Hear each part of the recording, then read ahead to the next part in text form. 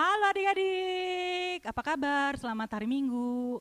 Ketemu lagi pada tanggal 3 Oktober 2021. Hari ini Kak Mary ditemani oleh Bang Bil, Kak Sima, Kak Ratna, Kak Edes, Kak Ica, dan Bang Frans. Yang akan pimpin pujian nanti adalah Kak Ratna. Yang akan memberitakan firman adalah Bang Frans. Oke, sebelum kita mulai kita mau berdoa dulu ya adik-adik ya. Yuk lipat tangan, tutup mata, tundukkan kepalanya, kita berdoa.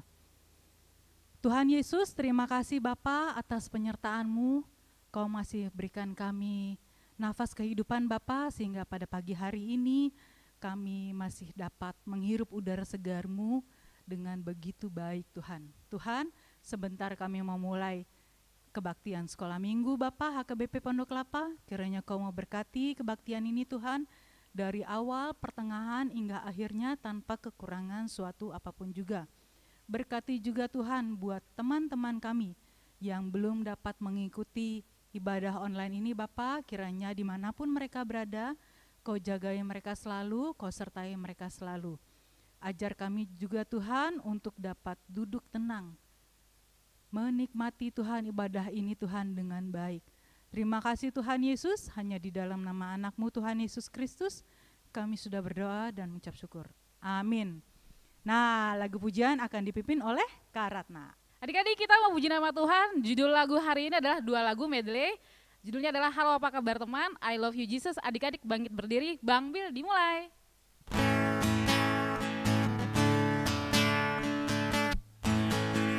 Halo,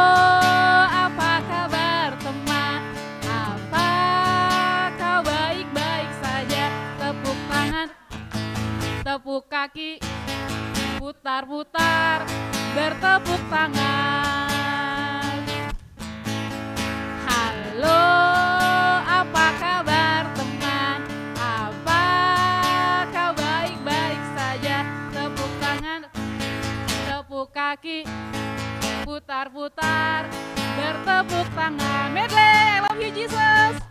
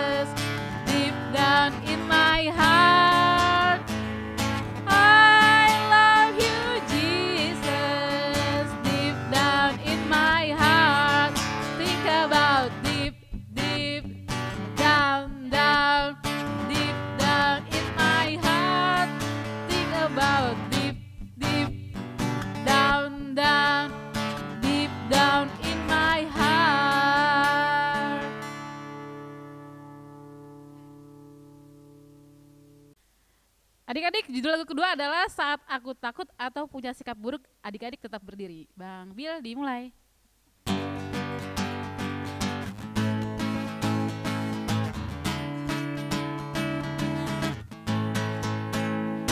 Saat aku takut atau punya sikap buruk Saat ku ingin marah berpikir tak sopan Saat ku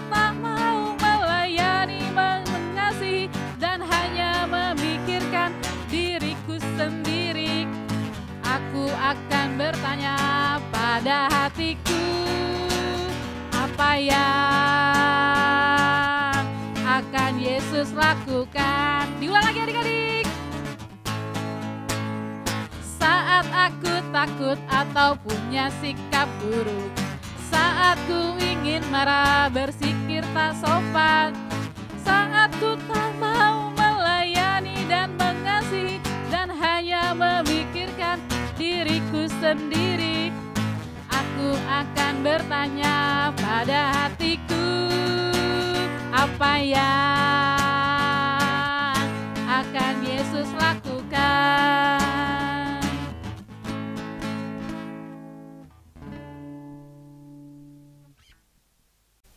Shalom adik-adik, apa kabar semuanya? Semoga adik-adik semua dalam keadaan sehat selalu ya. Ya, tidak terasa kita sudah kurang lebih satu setengah tahun masih mengalami pandemi COVID-19, tapi abang dan kakak berharap adik-adik tetap semangat untuk mengikuti kebaktian sekolah minggu HKBP Pondok Kelapa. Adik-adik mungkin sudah kangen ya, belum selama ini sudah lama tidak melihat abang apa di dalam e, ibadah minggu, ibadah sekolah minggu. Sekarang kita berjumpa lagi, abang bisa melihat wajah adik-adik semuanya walaupun dalam keadaan virtual, tapi kita boleh tetap harus bersuka cita memuji dan memuliakan nama Tuhan. Adik-adik, sekarang kita mau membaca dan mendengarkan kebenaran firman Tuhan pada hari Minggu ini tanggal 3 Oktober 2021. Tapi sebelum kita membuka Alkitab kita masing-masing di rumah kita masing-masing, marilah kita bersatu di dalam doa.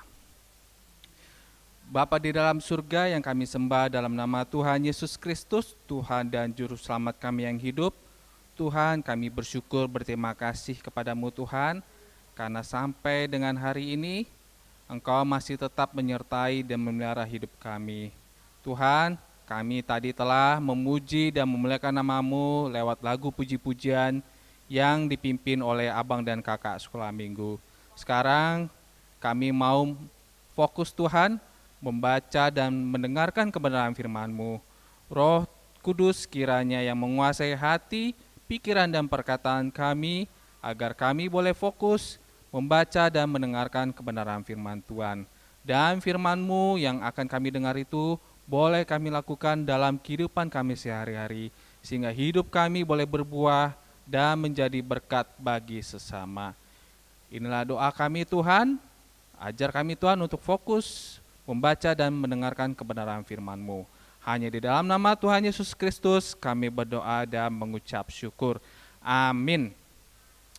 Ya adik-adik, sekarang adik-adik dibuka Alkitabnya di rumahnya masing-masing. Untuk yang adik-adik horong satu, abang dan kakaknya atau papa mamanya mungkin bisa membantu membukakan Alkitab. Firman Tuhan yang diambil untuk hari Minggu ini tanggal 3 Oktober 2021 diambil dari kitab Dua Raja-Raja pasal 22 ayat 1 dan 2. Ayo adik-adik, sudah dipersiapkan Alkitabnya? Kalau sudah dipersiapkan Alkitabnya, dibuka Alkitabnya.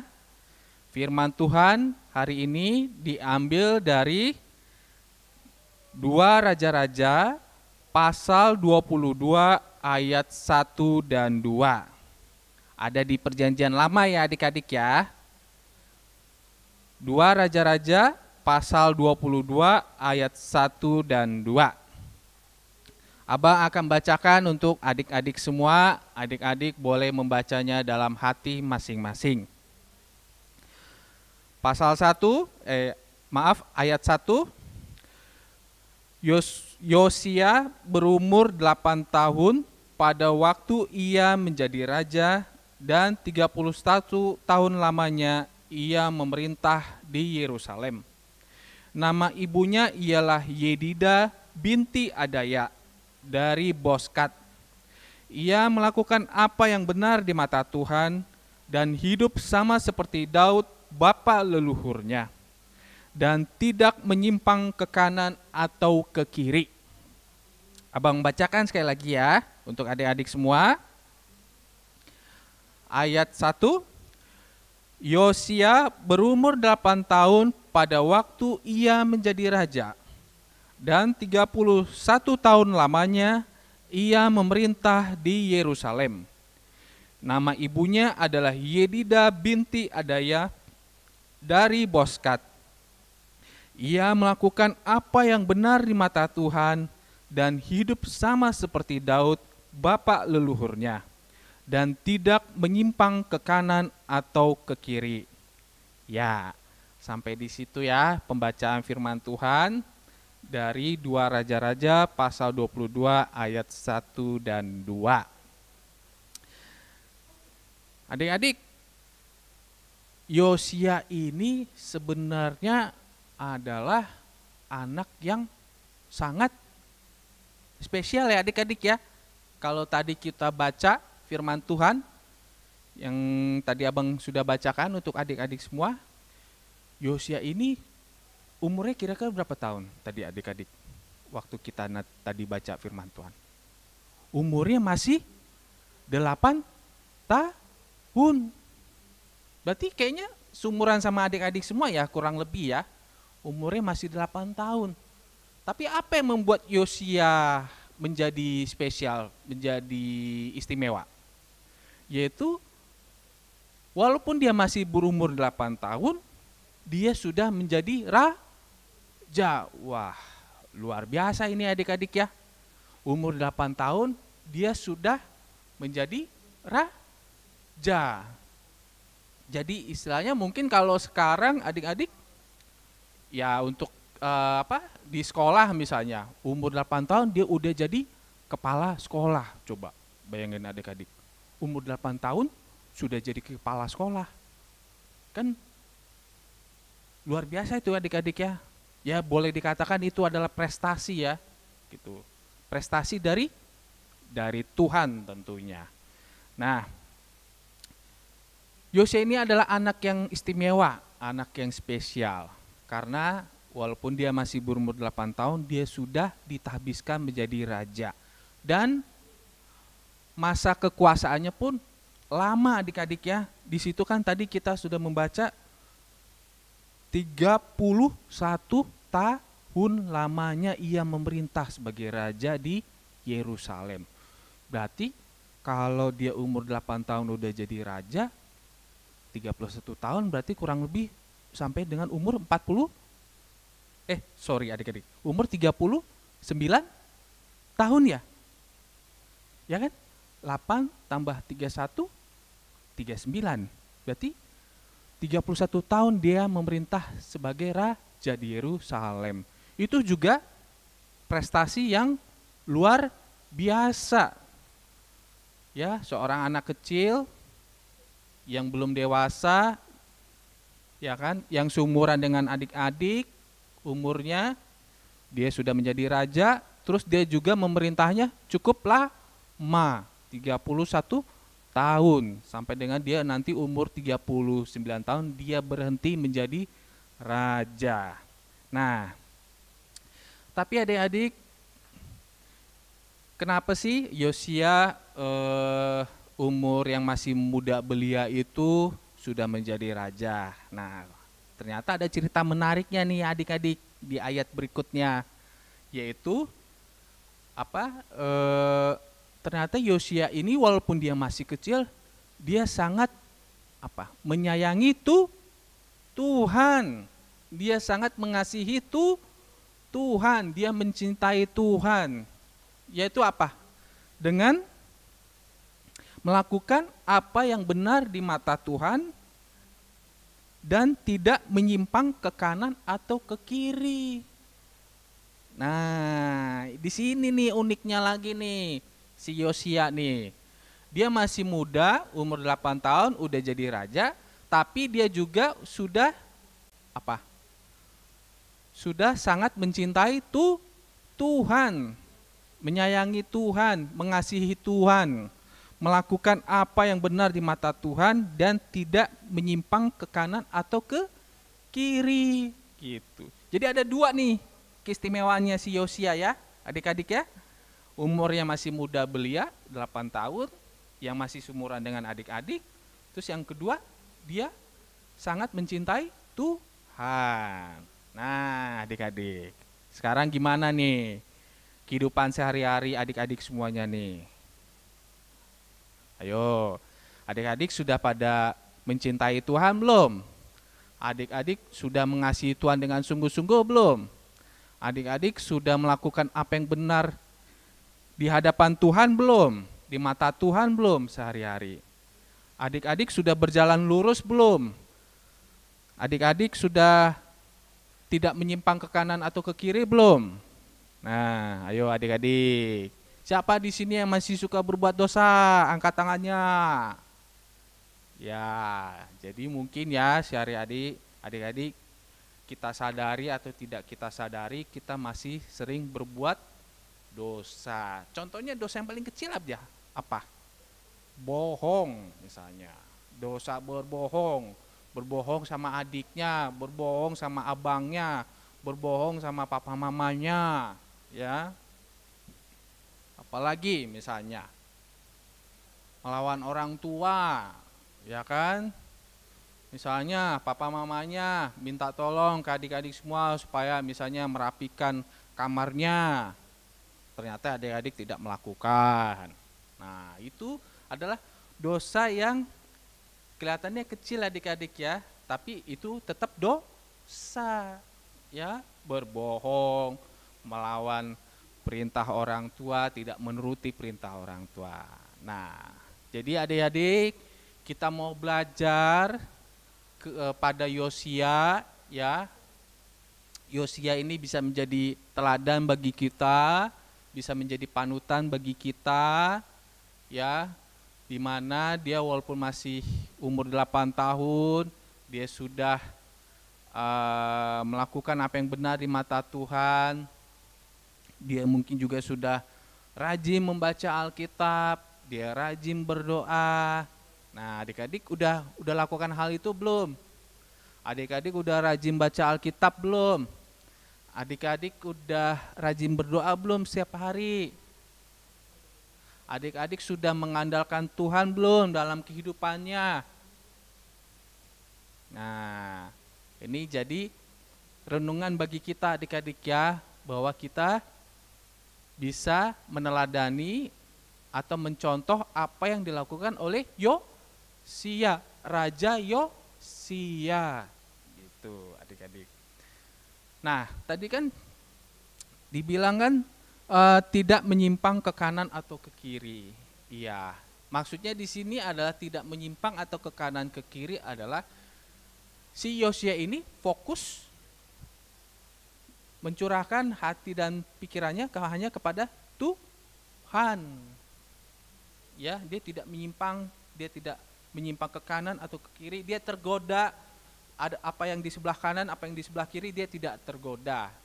Dia tetap fokus mengarahkan hati dan pikiran dia hanya kepada Tuhan, hanya melakukan kebenaran firman Tuhan. Dia tahu di, di sebelah kanan itu ada dosa, di sebelah kiri itu ada dosa.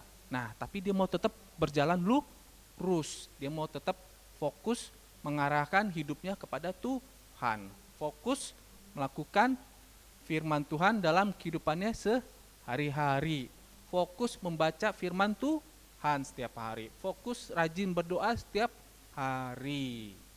Ya, itu adik-adik. Jadi ini menjadi renungan untuk adik-adik semua ya. Kita bisa meneladani, kita bisa mencontoh Raja Yosu, Yosia ya. Uh, dua keistimewanya tadi, umurnya masih sangat muda belia dan dia sudah mengenal Tuhan. Dia sudah mengasihi Tuhan, dia sudah menyayangi Tuhan, dia sudah mencintai Tuhan dengan sungguh-sungguh. Nah, jadi abang berharap adik-adik semua, yuk kita uh, mulai fokus mengarahkan uh, hidup kita kepada Tuhan, kita fokus uh, membaca firman Tuhan setiap hari, kita fokus rajin berdoa setiap hari, kita fokus apa uh, menaati perintah orang tua, ya kan? Kita menjauhi dosa-dosa, kita menghindari dosa-dosa yang ada di sebelah kanan atau di sebelah kiri. Kita mau fokus hanya kepada Tuhan. Kita mau hanya fokus melakukan apa yang disukai oleh Tuhan. Ya, adik-adik, sampai di sini uh, firman Tuhan kita hari ini.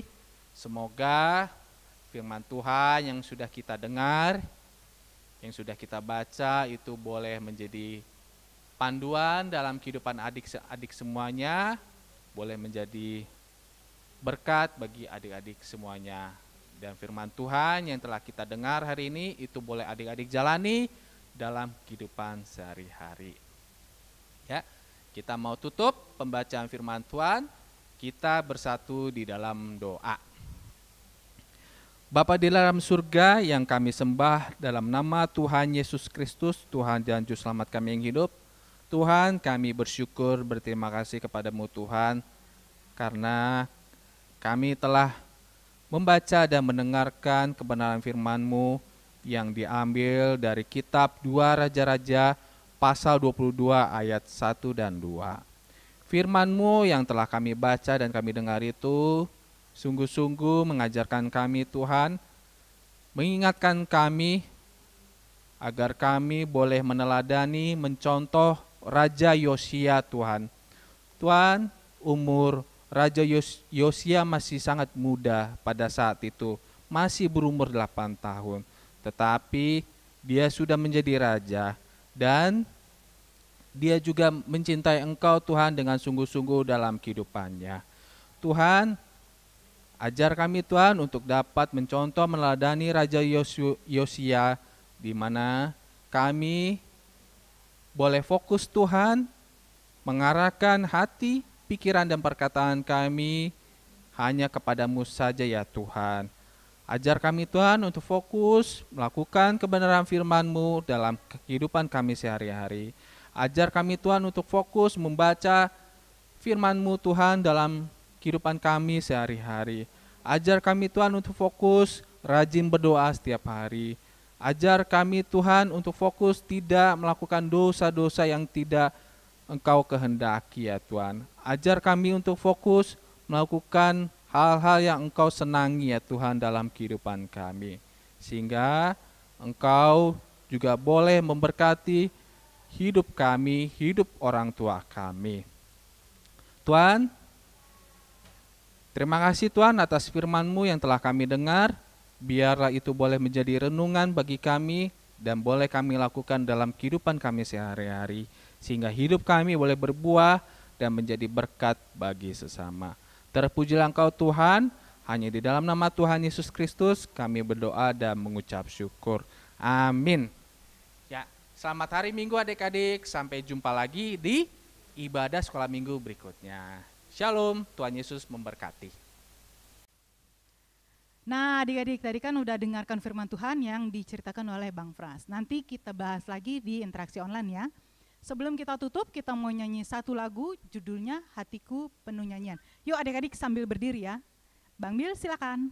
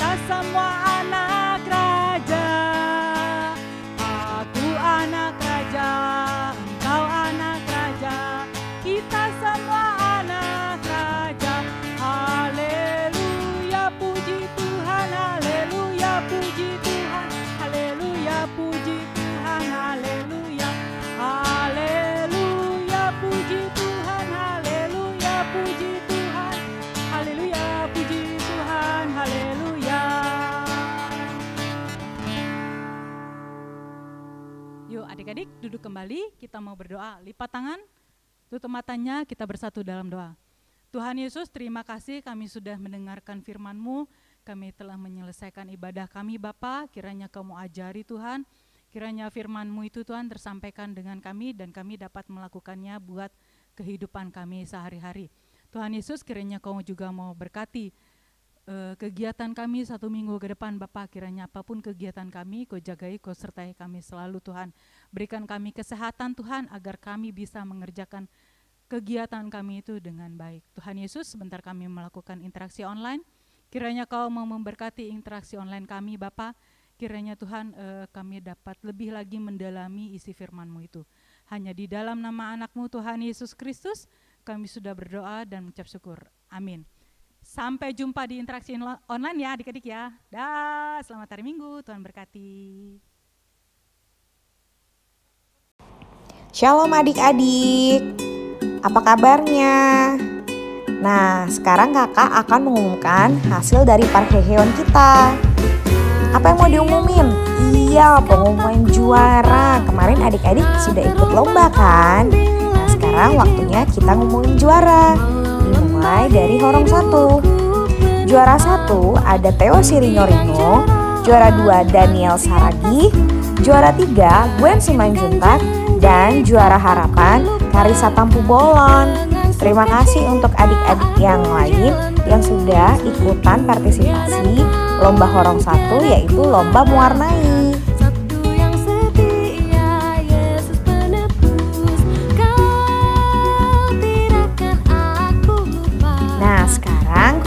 Masuk ke horong dua. Juara satu ada Eliado Simbolon, juara dua Karodil Syahan, juara tiga Angel Syahan, dan juara harapan Nehemia Sitio. Untuk adik-adik horong dua yang lain, terima kasih ya karena sudah partisipasi dalam lomba menggambar dan mewarnai tema gereja HKBP Pondok Kelapa. Sekarang masuk ke horong tiga.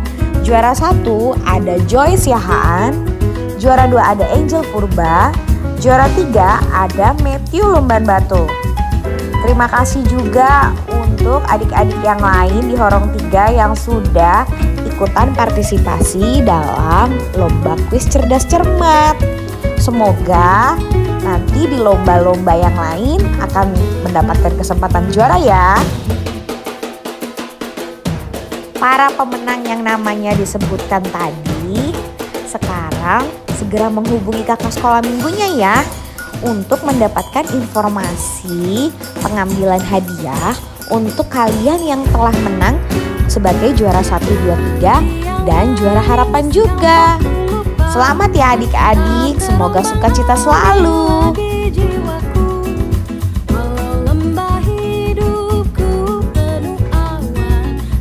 Terima kasih untuk semua anak sekolah minggu yang sudah partisipasi dalam lomba anak sekolah minggu HKBP Pondok Kelapa semoga sehat selalu dan kita harus rajin berdoa ya. Sampai ketemu di kesempatan lomba-lomba yang lain. Tuhan Yesus memberkati.